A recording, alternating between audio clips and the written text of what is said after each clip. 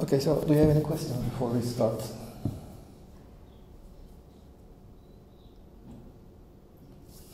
Now, if you remember last week, we had started uh, looking at identical particles, how we can describe identical particles in a quantum mechanical context. And essentially, uh, what we had concluded was to determine this, if we are looking at non-interacting uh, particles, let's say for simplicity, it, will, it was enough to specify uh, just the numbers, ni, ni being the number of particles in the state I. In the state, let's say, uh, psi I.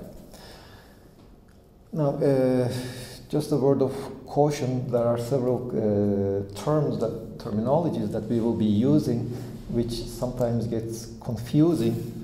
You see, uh, that is the, in your book, this is the notation that your book uses to determine, to specify the sum over states, but rather this is sum over the energies.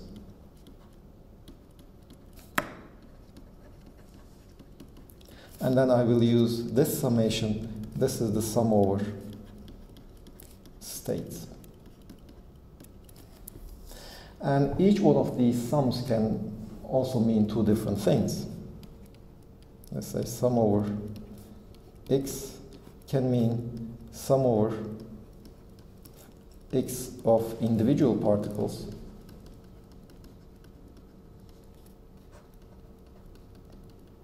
you see sum over in uh, single particle states or sum over the energies of uh, single particles or they can also mean sum of x of the whole system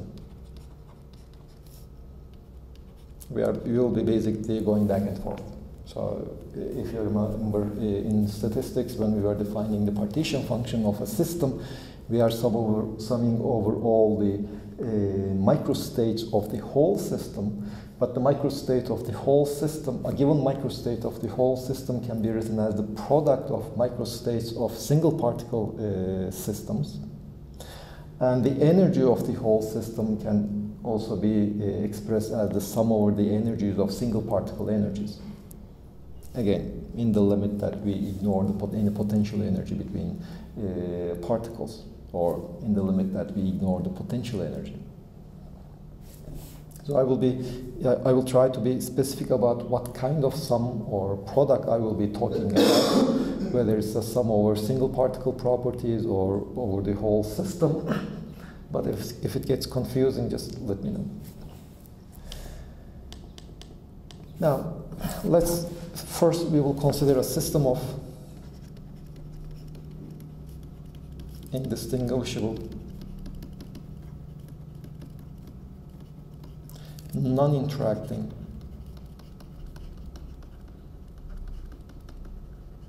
particles. We need to evaluate this sum. Uh, let's let's start with the uh, microcanonical ensemble.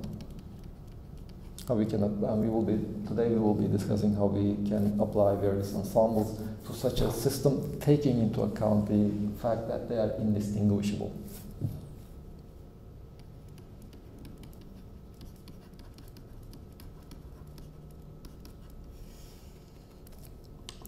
Now, in the microcanonical ensemble, if you remember, we first defined omega which depends on the uh, total energy of the system, the total number of particles of the system, the total volume of the system.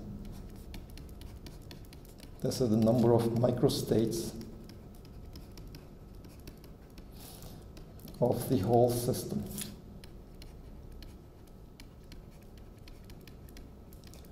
that have energy E. number of particles n inside the volume V. Now this number, if you like, we can just write it as sum over 1, sum over the microstates of the system,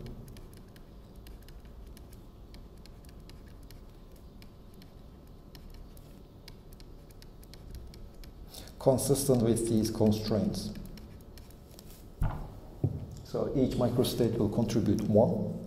So when I sum them sum 1 over all these microstates, I will get the number of microstates that are consistent with the, those conditions. And once we obtain that omega, we can uh, write entropy is k times the logarithm of omega and all the remaining thermodynamics follows. So the crucial thing will be the calculation of this omega. Now the microstates, as we stated before, are specified by these numbers ni. So omega, we can say that this is sum of 1 of all possible ni's such that the sum of ni is fixed and the sum of you say ni is the number of uh, particles that are in the state uh, single particle state psi i it has an energy epsilon i so ni epsilon i this should be equal to e so we are looking at such a uh, constrained sum which kind of makes uh, our life a bit complicated. Now we will uh, convert this problem to a slightly different one. You see, we, are, we will be eventually uh, looking at uh, microscopic systems. In the thermodynamic limit, our systems are infinitely large. If you have infinitely large systems, then the uh, spacing between the energy levels will be infinitely small. So we basically have many states and they are almost continuum. So we will first divide these states into various so-called cells. That's what how your book calls it. So this is one cell, this is a second cell, this is a third cell, etc. In each one of these cells, let's say here there are G0 states, here there are G1 states, here there are G2 states. And these, uh, okay, these uh, cells, we can choose them very small so that the, all, the, all the states within a cell, they have the same energy, more or less. So all the states over here has energy epsilon 0, all the cells over here have energy epsilon 1, all the cells over here have energy epsilon 2, etc.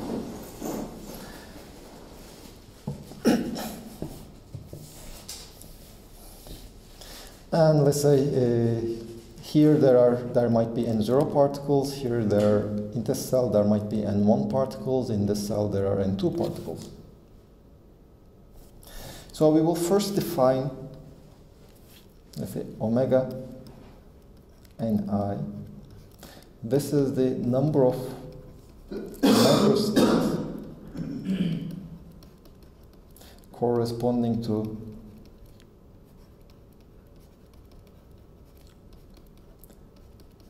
the numbers.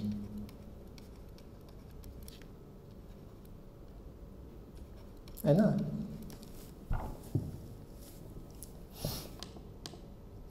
Now, one advantage of this separation will be that, for example, if you look at the cell G2, if you just shuffle the particles in uh, between the states in G2, you already satisfy one of your constraints. You don't change the total energy of the system. So when you are counting the number of states, you can easily just count how many microstates you obtain by just shuffling the particles within a cell. That will be kind of our uh, advantage. Now, with this definition, omega is nothing but omega ni. Let me put a prime over there. The prime just means that I have to satisfy my constraints. Still, sum over ni should be large and sum over ni epsilon i should be e. Here in these constraints now I'm not summing over the microstates but rather I'm summing over each cells, energy cells.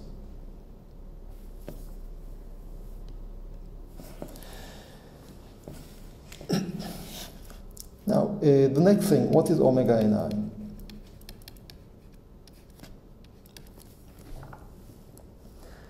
Well, you see, we had said that, okay, I first divide my system into cells. When I specify Ni, I know how many particles are within each cell. So uh, the number of particles within each cell is fixed. But still, I can shuffle those parts. There are many states in each cell. So the particles that are in a cell can be in various different states. So each cell has many uh, microstates consistent with the given number. And the total number of states that each one of these cells can be in, let us denote that by omega ni, and then just summed over all cells. Where omega, or let's say omega i omega i and i is the number of microstates that the ith cell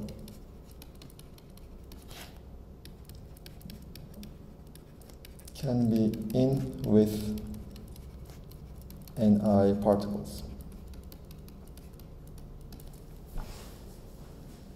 So if I have let's say five systems, or let's say two systems, if system one can be in five different microstates, system two can be in 10 different microstates, then the combined system can be in 50 different microstates, just the product of the two. So that's basically what I'm doing over here. I divided my uh, possible microstates, single particle microstates into cells, and then given the number of particles in each cell, each one of these cells can be in various different microstates. So the whole system for a given uh, set Ni, the number of microstates corresponding to that set of Ni will be just the product of the microstates that each one of the cells can be in.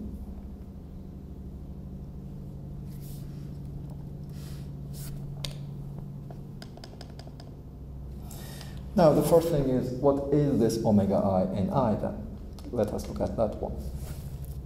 Now, of course, depending on what kind of particles that I have, omega i and i will be different.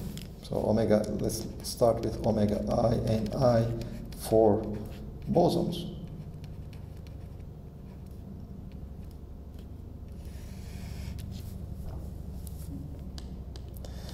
So you see, I have here GI states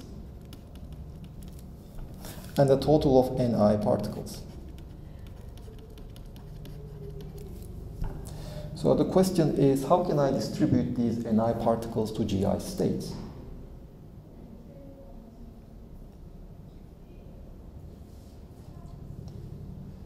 I should be basically writing Ni as sum of some integers. I, I, I have GI integers. And these numbers a, j, let's say, can be 0, 1. Well, the maximum will be just ni. It cannot be larger than ni. Well, in fact, this problem we had already solved. You see, just let's imagine this one. I have ni particles. Let me just show them by just small spheres.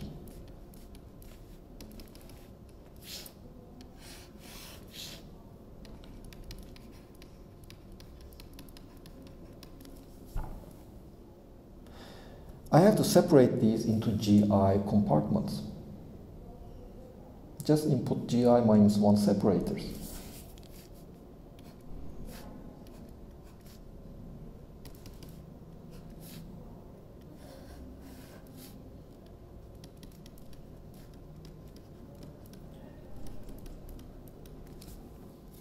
So any distinct ordering of these particles and separators gives me a possible microstate of my system, of my cell, not my system. Well, how many different orderings can I have? I have Ni plus Gi minus 1 objects. I can order all these objects in this many ways, but just exchanging Ni particles doesn't give me a new microstate. So I don't really care about all these different orderings which differ only by the exchange of Ni particles. reordering of Ni particles. I also don't care about all the different orderings exchanged by obtaining, uh, by reordering the GI minus 1 separators.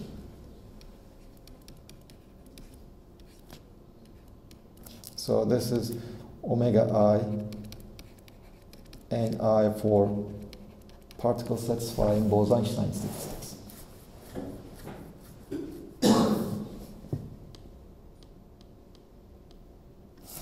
Now let's look at omega i and i for Fermi-Dirac fermions.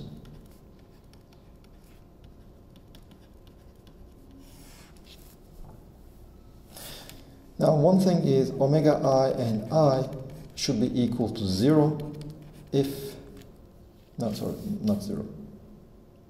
Yeah, yeah, it's zero if n i is larger than gi. I have gi states in the cell.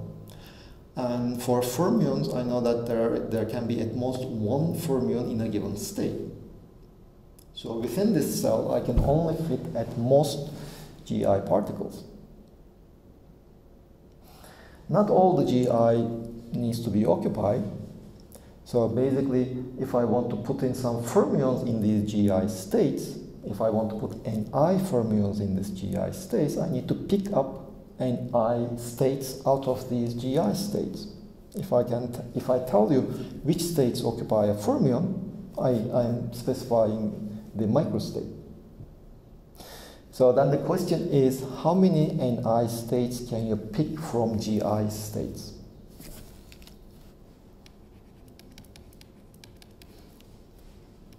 For Fermi-Dirac, this is nothing but this combinatorial factor. So I'm just picking up Ni objects from out of GI objects. How many different ways can I do that?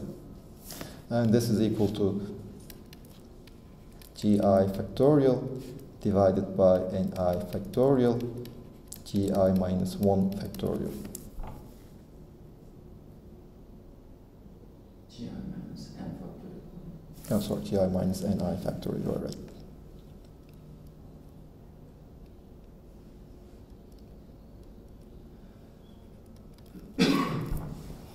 So this is our omega i uh, for the Ferm, uh, Fermi-Dirac.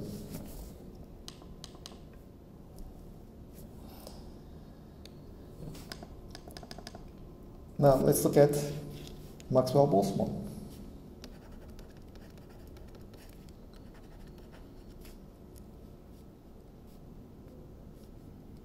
That's the classical system that we have been studying at the beginning.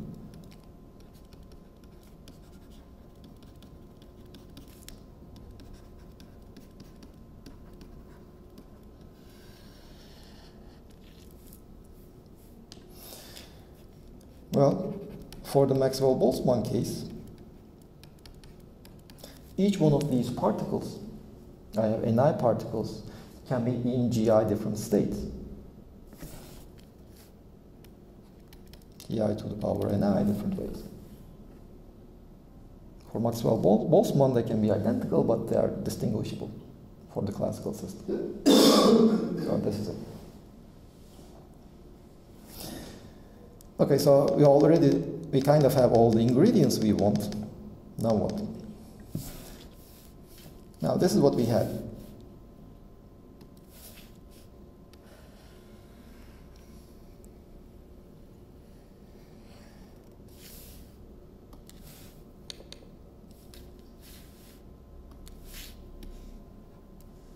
We are looking for the entropy.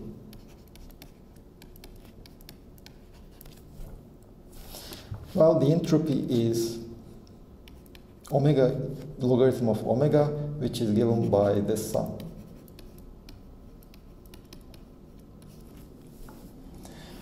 Well, one of the reasons why we separated these into cells is, okay, on one hand, we want the cells to be small because all the states in my cell should have more or less the same energy. On the other hand, I want the number of states in a given cell to be very large, huge. But in the thermodynamic limit, that's not really a problem. because the separation will go to uh, zero, the separation between the states. So within any finite range of energies, there will be infinitely many states in the thermodynamic limit. So that's kind of a the numbers and i's over here will also be huge. So ni is huge, gi is huge, so all the numbers appearing in these statistics is huge. Well, we can just use the statistical concepts over here. You see, what one thing we had done in the first month of the, uh, this course was when we have such huge numbers, you see, omega ni is just the number of, uh, for a given set ni, the number of microstates I have. It's just like if I take the omega, the logarithm of omega, it's just uh, similar to some kind of an entropy for a given set ni. But we had seen that that number for one choice of the ni is huge. There's a set ni that maximizes that number. And for that set, that number is huge. For any other set that deviates, that number is relatively negligible. So I can rewrite this sum as the logarithm of omega ni star, where this ni star is the set that maximizes omega ni.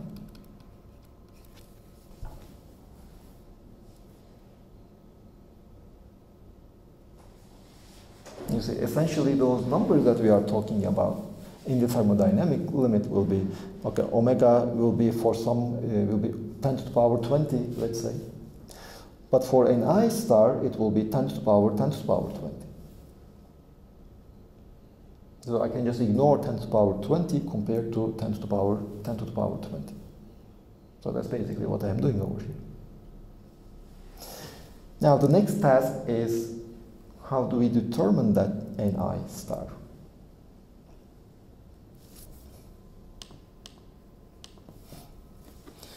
Well, we have to maximize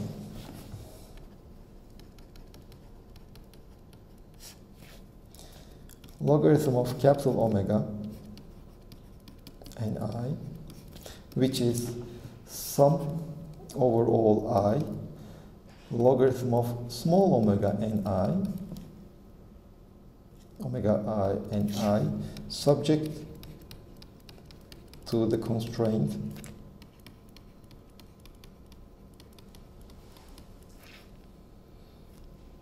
sum over ni should be n and sum over ni epsilon i should be e. So what is the max? This, uh, okay, if I maximize this, then I determine ni star.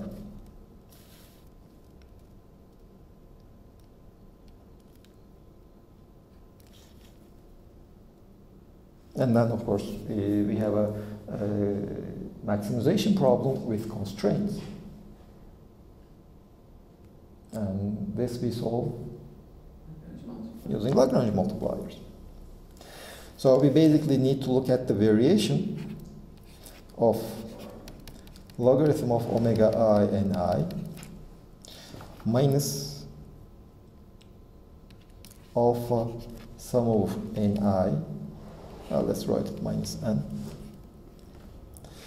minus beta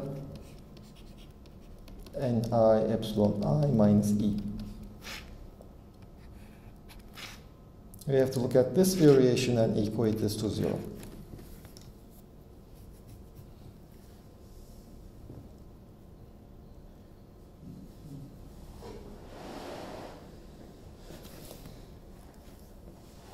Now, of course, since n is just a constant, there is no variation, I can just ignore that. e is a constant, there is no variation of e. I can also ignore that.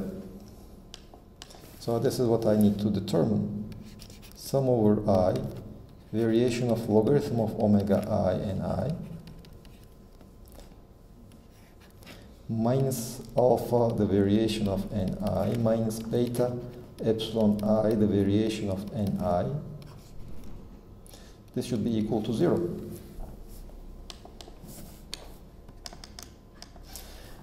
Well, with Lagrange multipliers, after using Lagrange multipliers, I can just treat all the variations of ni independently. That's the basic idea of the Lagrange multipliers. So I can just, from here, I can say that the variation of the logarithm of omega i and i divided by the variation of ni minus alpha minus beta epsilon i should be equal to zero. This is the equation that will tell me what ni, star is. Of course, this is evaluated at ni is equal to ni star. Now let's, let us look at the various cases we have. We had the uh, Bose-Einstein case, where omega i Bose-Einstein was given by ni plus gi minus 1 factorial divided by ni factorial gi minus 1 factorial. Logarithm of omega i would be the logarithm of ni plus gi minus 1 factorial over ni factorial gi minus 1 factorial. Well, I will also use the Stirling's approximation of the factorial of the logarithm because keep in mind that uh, I'm assuming that uh, I will be going to the thermodynamic limit in which ni, the number of particles in each cell will be divergent, will go to infinity. The number of states in each cell will uh, go to infinity. So all these numbers are will be in the thermodynamic limit at least. Those numbers will be huge. So Stirling's approximation is a good approximation. So this will be equal to ni plus gi minus 1 logarithm of ni plus gi minus 1 minus ni plus gi minus 1 minus ni logarithm of ni plus ni minus ni no, gi Yeah.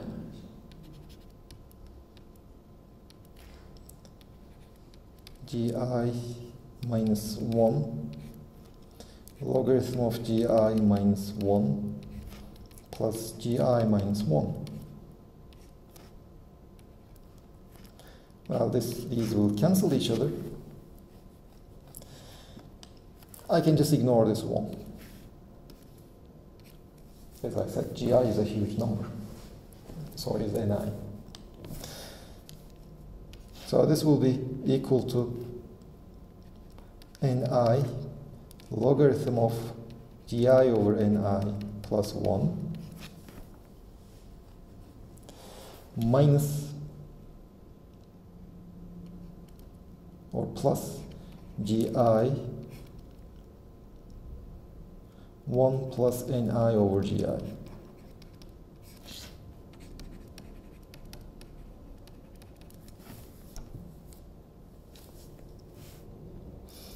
Okay, so we, we just need to take its derivative with respect to ni.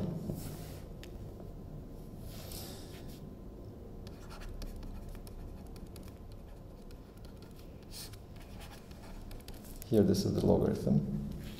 This is equal to, well, logarithm of gi over ni plus 1.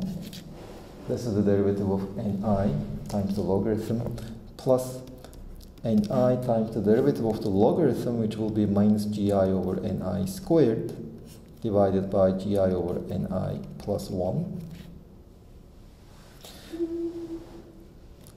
plus gi 1 over gi divided by 1 plus ni over gi. Well, let's see, this will cancel one of these, this cancel this one. This is logarithm of gi over ni plus 1. Let's see, plus minus ni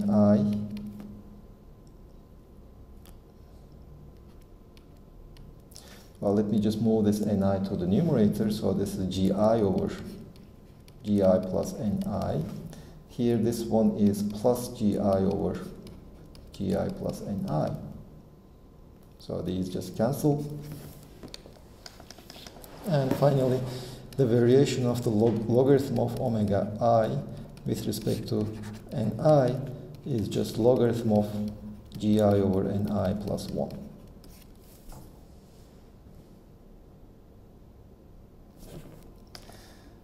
Okay, did I do any mistake anywhere? Okay, no. So let's go back. So this was our equation.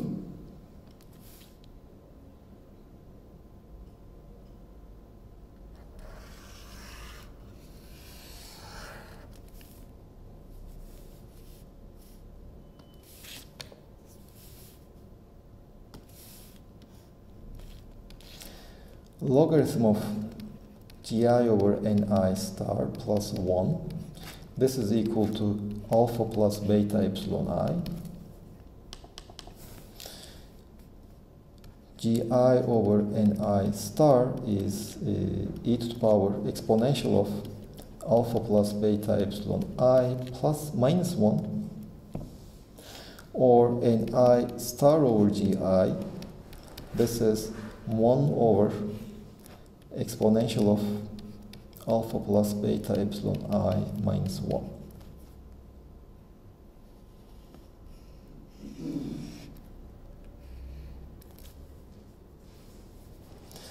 But note that this is nothing but the Bose-Einstein distribution. You see, and I had uh, Ni particles in Gi states. So Ni over Gi is nothing but the number of particles per state with an energy epsilon i. So this ratio is just the number of particles in a state with an energy epsilon i. Well, this is the most probable number. But the most probable number in a, in a statistical is also the average number because the deviations will be negligible.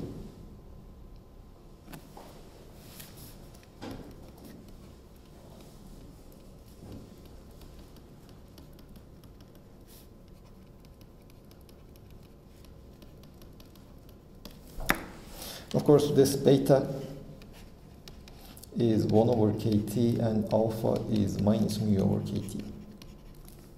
These Lagrange multipliers. We have to identify it with the chemical potential and the temperature. Well, let's look at the same thing for the Fermi-Dirac fermions.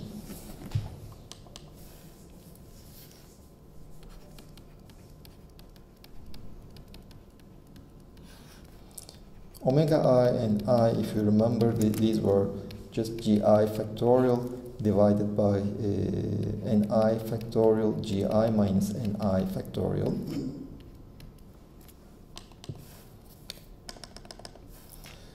Logarithm of omega i and i using the Stirling's approximation would be gi logarithm of gi minus gi minus ni logarithm of ni plus ni minus gi minus ni logarithm of gi minus ni plus gi minus ni. Again, these will just cancel each other. This is equal to gi, well, let's see, Uh, minus gi logarithm of 1 minus ni over gi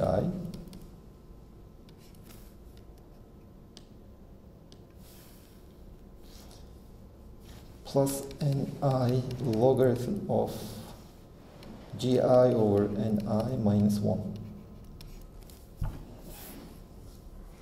Well, again, let's just take the derivative with respect to ni.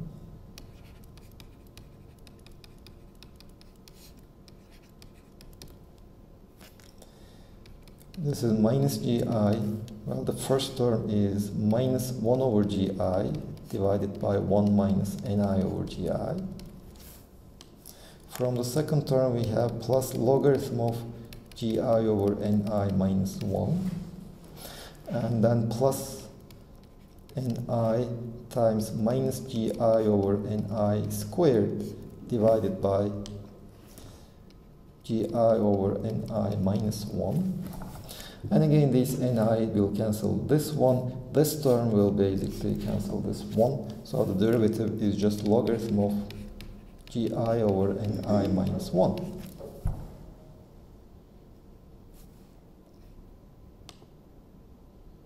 Again, if you go back to our, oops, sorry.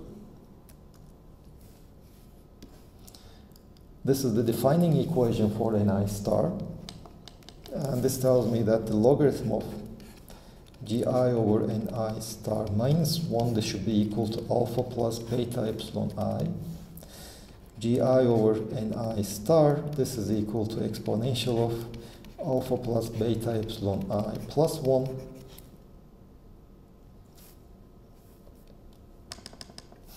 and ni star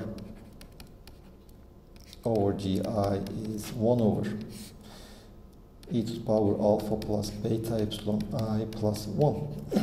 And again with the identification beta is equal to 1 over kt, alpha is equal to minus mu over kt. This is nothing but the Fermi-Dirac distribution.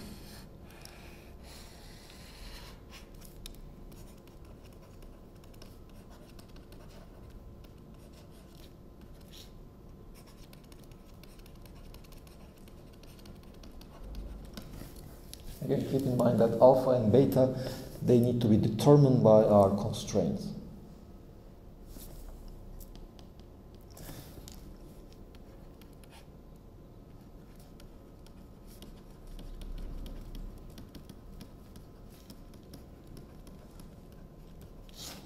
Sum over ni star should be n, and sum over ni star epsilon i, this should be equal to e or in terms of these alphas and betas, these are sum over gi over e to the power alpha plus beta epsilon i uh, plus a should be equal to n and sum over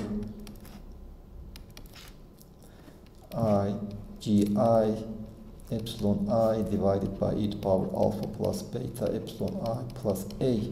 This should be equal to e. And a is 1 for fermions minus 1 for bosons. And the, you just solve these two, try to solve at least these two equations for alpha and beta, and then you know the temperature and the uh, chemical potential in terms of the number of particles the, in the system, energy in my system, and the volume of my system. The volume enters into these definitions through the values of epsilon i. Again, keep in mind that this in these sums, these are sums over the cells.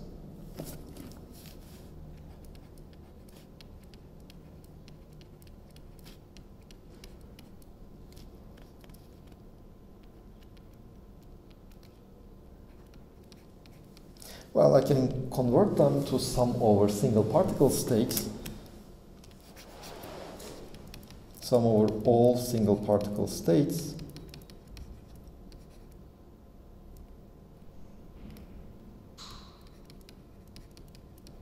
of 1 over e to power alpha plus beta epsilon i plus a is equal to n and epsilon i e to power alpha plus beta epsilon i plus a.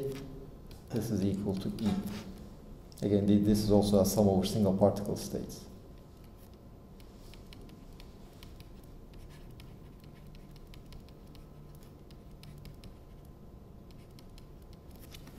Because you see, when I was defining my cells, I said that, okay, the cells are small enough such that all the states within a cell, they have more or less the same energy.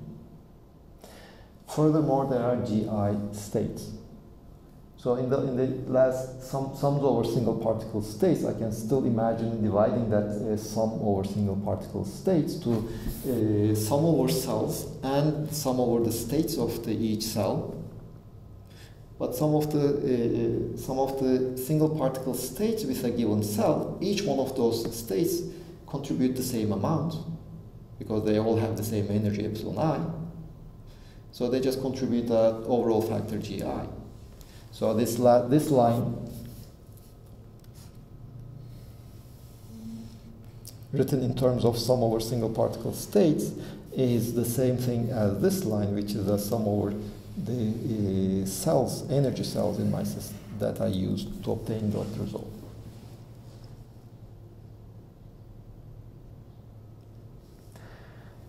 Well, let's go back to Maxwell Boltzmann. That's something we skipped.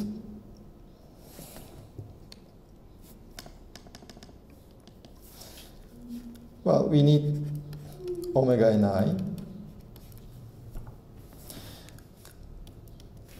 Well, for each cell, we have this many states, microstates of each cell. This is a product over cells. And then keep in mind that these are distinguishable particles. So I have n factorial divided by n1 factorial, n2 factorial, etc. Exchanging uh, within a cell doesn't give me a new state. After a Gibbs correction,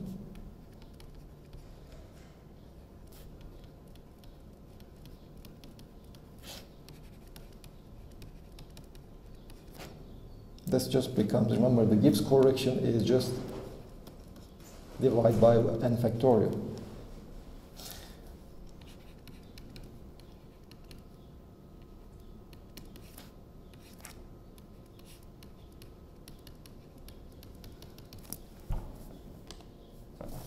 But now this is the product over i of gi to the ni divided by ni factorial.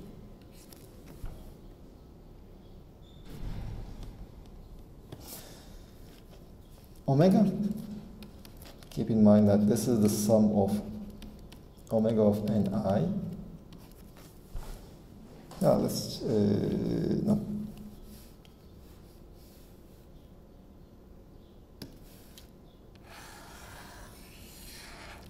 we are looking for the maximum. So logarithm of omega ni.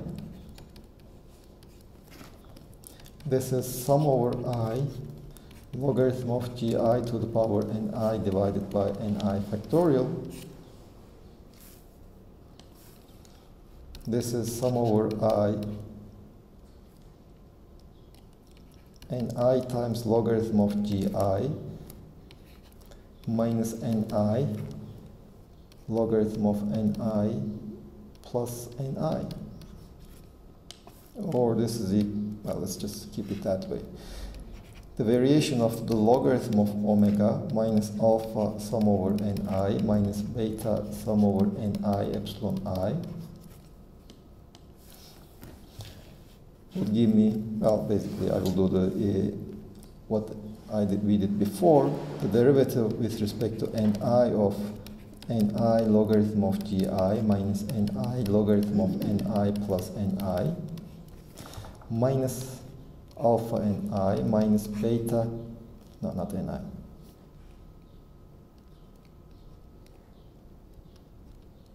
Minus beta epsilon i should be zero. Well, if I take that derivative, logarithm of gi minus uh, ni, derivative of the logarithm is over ni, minus logarithm of ni plus 1 minus alpha minus beta epsilon i should be 0. Well, this cancels this one. Logarithm of ni over gi should be equal to minus alpha minus beta epsilon i or ni star over gi. This will should be equal to exponential of minus alpha minus beta epsilon i. Well, in all the cases, we actually have an i star over gi. This should be equal to 1 over e to the power alpha plus beta epsilon i plus a, even in the Maxwell-Boltzmann case. So a is equal to 1 for the Fermi-Dirac, minus 1 for Bose-Einstein, and 0 for Maxwell-Boltzmann.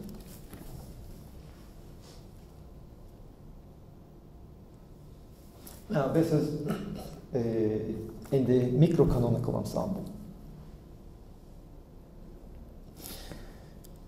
Then the next, any questions on this one? I think it's kind of complicated because we are looking for counting the number of states the, uh, subject to the uh, to our constraints and also taking into account the indistinguishable nature of my particles. You see, compared to the previous case, when we were looking at, let's say, the ideal gas, we said that, okay, the sum over states, microstates, of e to power minus beta ei, e, this was equal to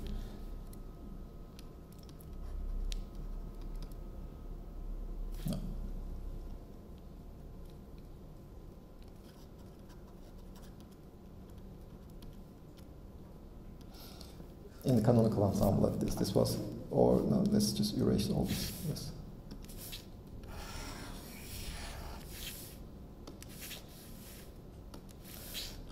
Omega was proportional to the phase space volume.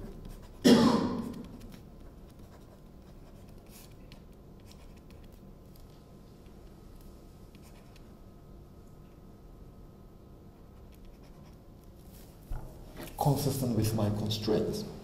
But see, even in this sum, even if we would stick with this classical description, it might be possible that some particles have the same p and q values.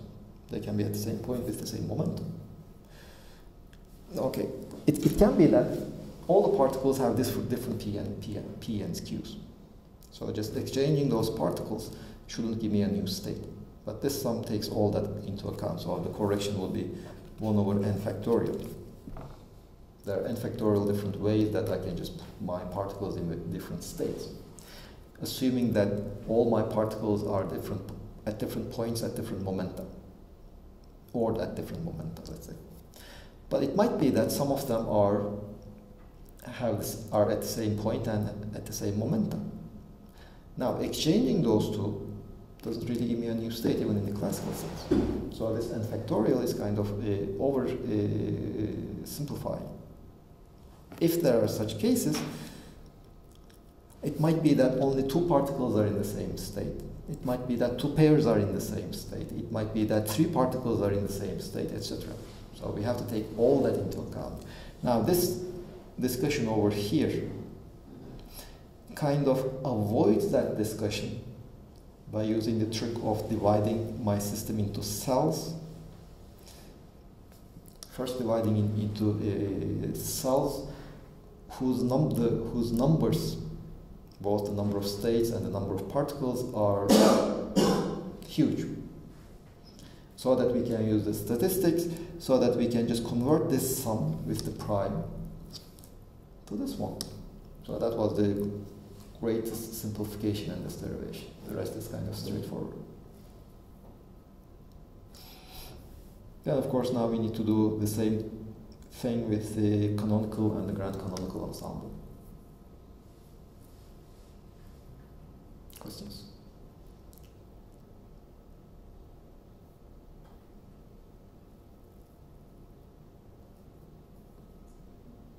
Why did we calculate everything for an star? Well, you see, basically, if you know an I star, you know everything. You say, what would you like to calculate? Now, let's look at S.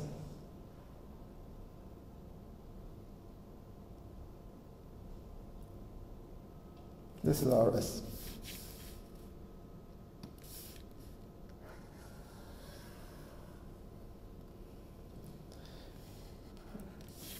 Do you follow why we can express S in terms of Ni star only?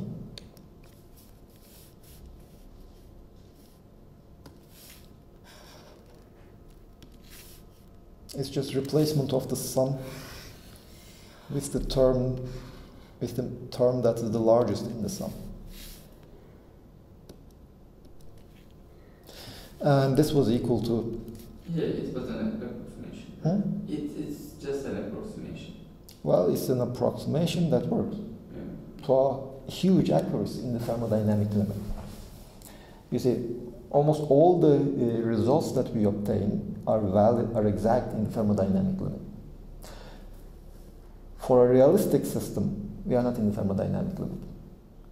But nevertheless, the uh, variations, the errors that we introduce will be proportional to 1 over n or 1 over the square root of n in the worst case. But as long as the number of particles is huge, as long as it's let's say 10 to the power 20, well, the error is one part in 10 to the power 10, typically. So we can just ignore that error. But if you try to apply this for systems, for let's say uh, mesoscopic systems, where you have of the order of 100 particles, well, the errors can be sizable. So that's something you have to keep in mind. Well, this is equal to sum over i, logarithm of small omega i and i, which we can write, okay, let me just uh, take from here. This is approximately equal to sum over i and i star logarithm of gi over ni star minus a minus gi over a logarithm of 1 minus a and i star over gi. Now this, this expression takes into account all cases, whether it's uh, Fermi-Dirac, Maxwell-Boltzmann, or Bose-Einstein. Again, keep in mind that A has the values 1 for Fermi-Dirac, minus 1 for Bose-Einstein, and 0 for Maxwell-Boltzmann. And the in the second term, there seems to be a, a, singularity when a goes to zero, but keep in mind that just treat it as a limit. The limit is finite as a goes to zero. Well, let's see, what are these numbers?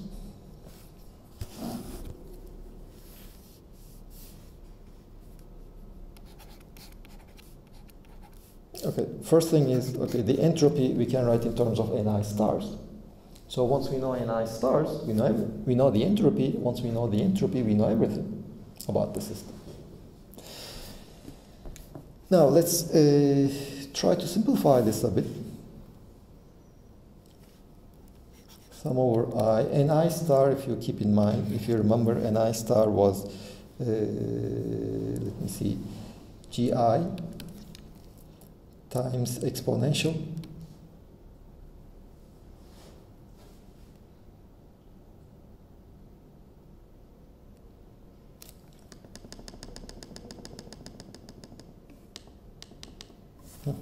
So you see from here, Ni star is Gi times Gi over e to power alpha plus beta epsilon i plus a. This is our Ni star.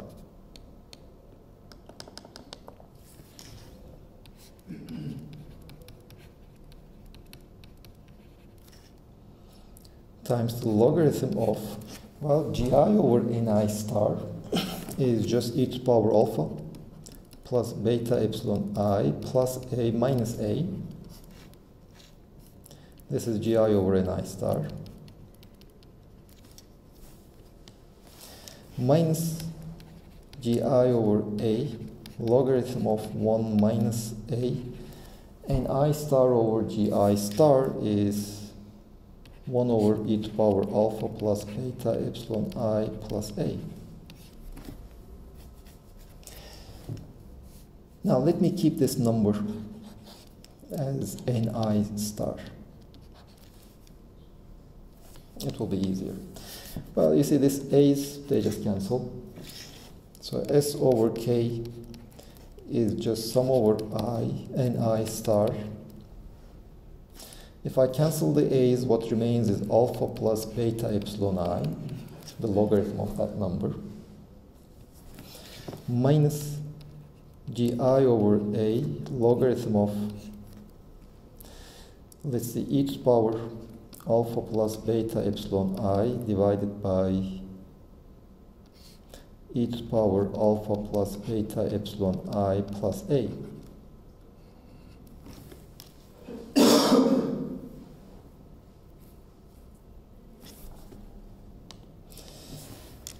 This is equal to, well, this alpha is just a constant, sum over ni star is just the total number of particles. Again, beta is just a constant. Epsilon i times ni star is just the total energy of my system. Plus uh, sum over i gi over a logarithm of 1 plus a e to power minus alpha minus beta epsilon i.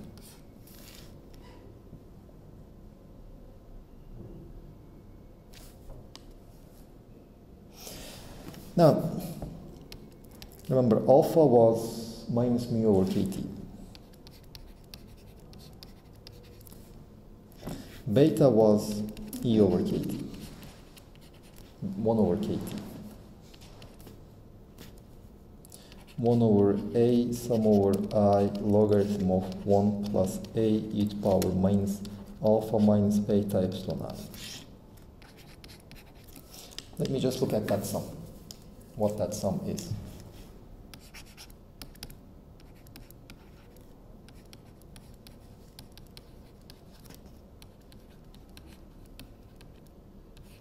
This is equal to st plus mu n minus e divided by kt.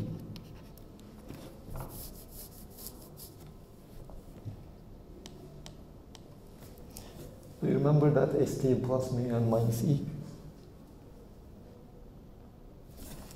Now let's look at this one, dE. This was TdS minus PdV plus mu dN. d of E minus Ts minus mu n is equal to minus S dt minus PdV minus n d mu. Keep in mind that E minus Ts minus mu n. In this expression, it says that I can write it as a function of t, of mu, and of v. Well, E minus Ts minus mu n is an extensive property. It should scale with the size of my system. But the only argument that depends on the, of that combination that depends on the size of the system is v. So that E minus Ts minus mu and that combination has to be proportional to V. And if I take the derivative of that combination with respect to V, what remains should be P. So that tells me that this combination is actually minus PV. P is a function of T and mu and V. So that's sum 1 over A logarithm of 1 plus a e to the power minus alpha minus beta epsilon i should actually be pv over kt.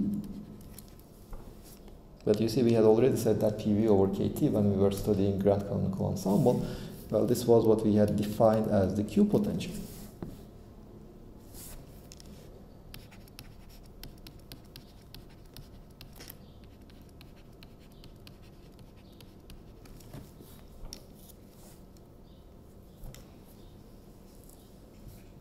So now we know how to express the Q potentials. Again, keep in mind here the summation over I is a summation over, well, let's see, I, here this is, there's a GI over there. So that summation is a summation over, in this form, summation over the cells. But as I said before, I can easily convert that plus summation over the single particle microstates.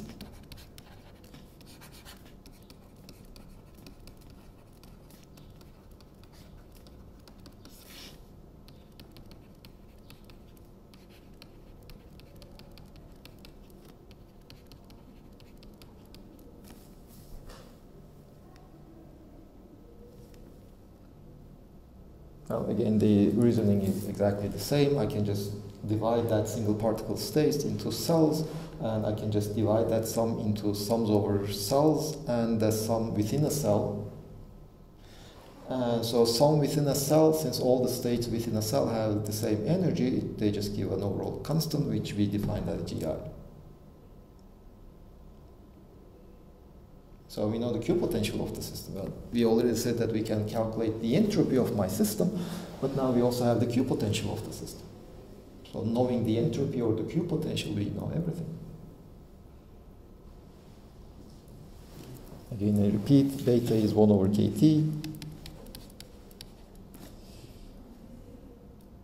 Alpha is minus mu over kT.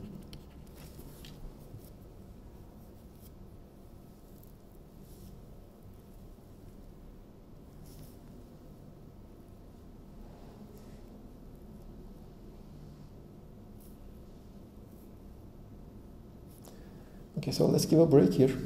Then after the break, we can discuss what happens in the canonical and in the grand canonical ensemble.